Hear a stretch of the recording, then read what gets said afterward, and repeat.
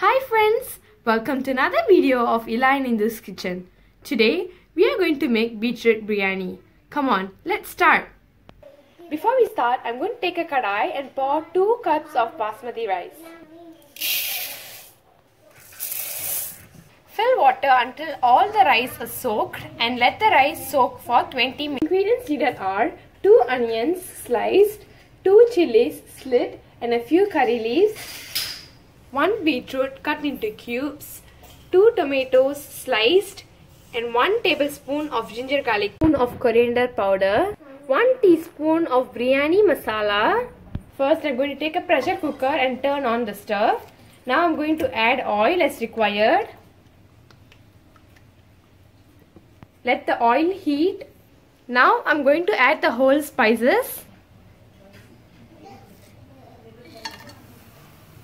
Next I'm going to add the onion, chili and curry leaves.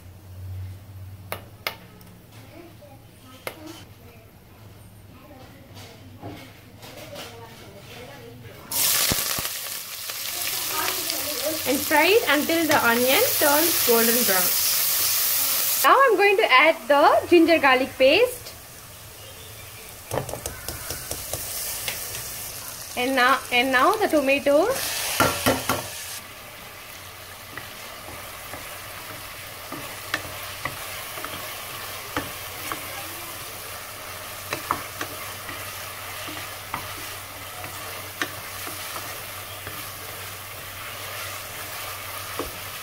Let's add the beetroot.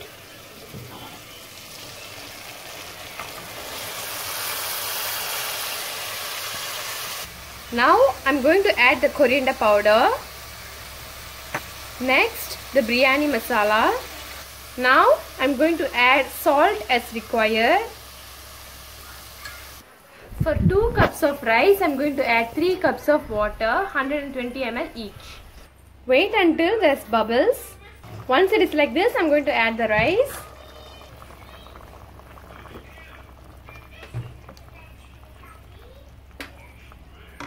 Now I'm going to add 2 teaspoons of ghee. Now I'm going to close it with a lid and wait until 3 whistles. Now our delicious beetroot biryani is ready. Serve it with raita. So friends, do try this recipe out at your home. Don't forget to like, share, comment and subscribe to Ela in Indu's kitchen. Also click the bell button to receive our upcoming videos. See you all in the next video. Bye friends.